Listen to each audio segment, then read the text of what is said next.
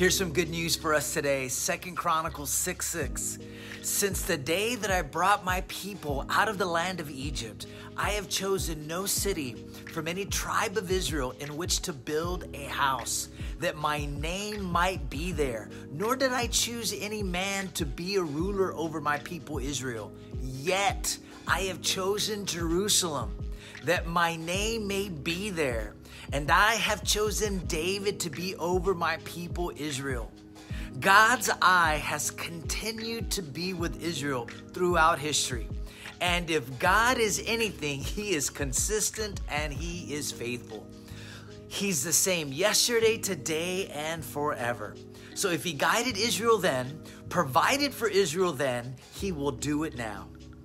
Keep in mind that the mind and the heart of God is always on Israel. We should likewise be committed to the things that God is committed to, which is Israel.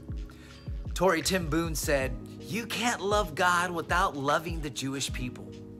This is good news to live by. Shalom.